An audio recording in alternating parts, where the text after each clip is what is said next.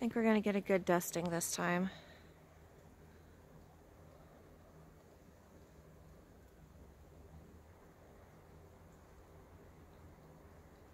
It's getting on the big trees pretty good.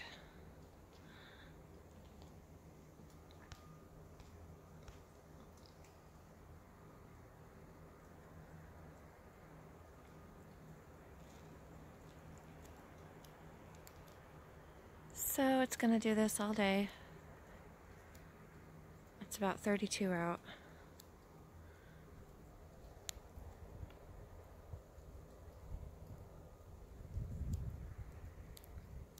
Have a good day, everybody. Love you all.